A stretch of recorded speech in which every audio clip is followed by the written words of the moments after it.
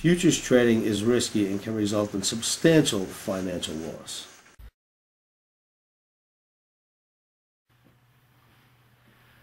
Good morning, good afternoon, good evening, traders from across the globe, and welcome to Short Term Trading Live with Oscar.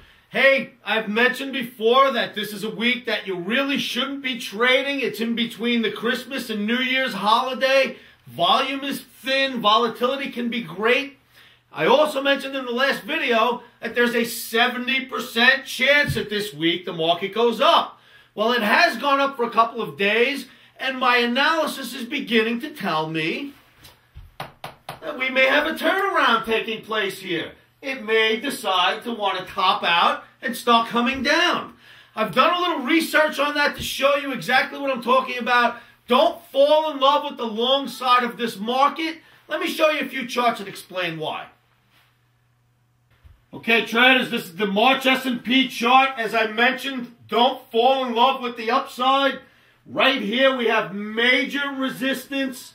The market is only looking to test, possibly test that resistance. However, look at the averages converging right here. We have our proprietary average and the 200-day moving average both coming together right above the market. Indicators, which I'll show you in a few moments, are starting to look like the market wants to turn. So here's the S&P running into resistance and running into the top shoulder the left shoulder over here of the head and shoulders formation that we've been looking at for quite some time. Makes perfect sense that we are seeing resistance here and that indicators are pointing towards a market getting tired of this run. Okay, next chart I'm showing you here is the SPY or the S&P cash and you have the same thing taking place in the cash market. I can I think I could draw that a little better. Let's look at that right there. You have your resistance right up here. You also have support, and we are coming towards the end of an apex. I will cover a lot about the apex that we're getting to in the coming webinar video that we're going to put out for you in the next couple of days. Stay tuned for that video. For now, I just want to illustrate how the market does look like it's getting a little tired up here.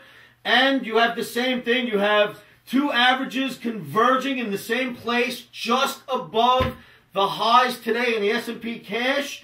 I think that we will maybe see this resistance tested what around the 1497 level in the cash S&P. I don't know if it even has the strength to go that high. Again, you have the top of the right, the left shoulder, the head, and the right shoulder. All we've done was get to the area of the top of the left shoulder, and indicators became indicators became, I guess, slightly negative already. So let's take a look at a few more charts and see what we think.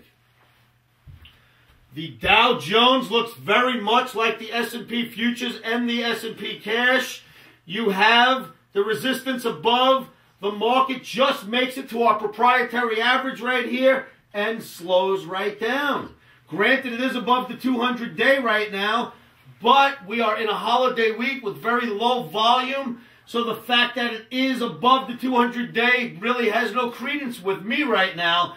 But the fact that we have the resistance above, and again, the head shoulder, the shoulder head shoulder formation running into the resistance up here, never even tested the head. End indicators are getting bearish. It's another chart of the indice market telling us that likelihood is you should not fall in love with the upside of this market. Okay, traders, what we're looking at now is the NASDAQ, the March contract. You know, in the last video I mentioned follow the leader. The NASDAQ always leads the way first and then the S&P catches up. Well, interestingly enough, the NASDAQ, because it's been thin this week, got itself above the resistance. It's sitting right here right now. But I do not think that that will last very long. Right here is an important level around the 2175, 2180 level. That would represent the top of the head of our head and shoulders formation. We don't want to take out the top. If we took out the head and settled above it, the likelihood is you'd get a greater rally and it would negate the entire head and shoulders formation. Remember that we are talking about trading in the middle of Christmas and New Year's. Anything can happen in markets. That's why I think that you've seen the NASDAQ blow up a little bit further than it should have. The S&P and the Dow, which are larger markets, have shown the difference where they did not move up nearly as far and they haven't even tested their resistance lines yet. However, NASDAQ is the leader, so do expect the market to follow that. I will say this about the NASDAQ. If you are looking at charts right now, NASDAQ's already beginning, beginning to put in a little bit lower tick leading into Thursday night, Wednesday evening, Thursday night. Oh, wait, let me back that up. It's Tuesday evening into Wednesday night, isn't it? Or is this Wednesday night into Thursday evening? Wednesday into Thursday. This is Wednesday to Thursday. Move. The tick that you will see on your charts, if you have live data, will show you the NASDAQ is already beginning to back off here. Another market which we can categorize as a leader of the indices is the mini Russell, the ER2H08, if you will. The mini Russell, like the NASDAQ, got above the resistance, stayed there for a day, is already putting in a little dash that it wants to head lower, and our proprietary average, it got right up to that average and cooled right off. Another indicator telling us that likely we have some downside coming. Here are the indicators for the indice markets. Stochastics is already beginning to get tired down here. You can see that it's beginning to hook and the yellow and red are beginning to cross. Our ADX indicator, average directional movement, is already pointing towards the downside, whereas you have the positive pointing down, the negative pointing up. That is generally a sign that the market's getting tired and wants to head lower. Relative strength index already beginning to hook, showing it wants to go lower. And you have the commodity channel index doing the same exact thing. The CCI indicator is already showing signs of tiredness, and we've only had a rally for a couple of days here, traders. So you have indicators pointing lower, you have a market running into resistance on many charts, and you also have our proprietary average that we like to use at our site showing that the market is getting tired. There is some good reason technically why if you are, if you do have to trade this week or you do choose to trade this week, start looking at possibly selling into this rally. Okay, traders, so you've seen the charts, you see the analysis. The market does look like you're getting a turnaround here.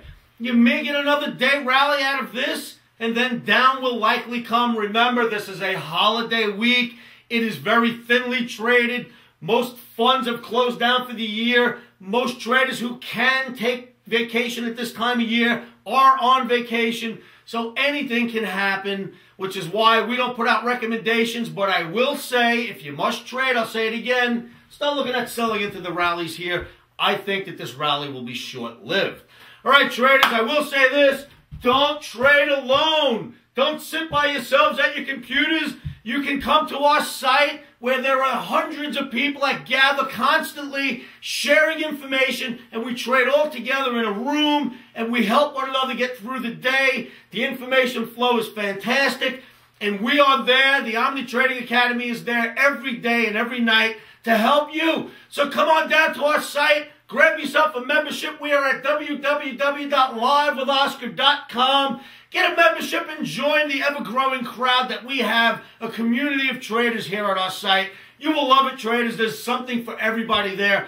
It's geared for the novice trader who's never traded a contract, and it's geared for the professional that's jumping in and out of these markets and really knows how to play the game. We have something for everybody, so come on down to the site.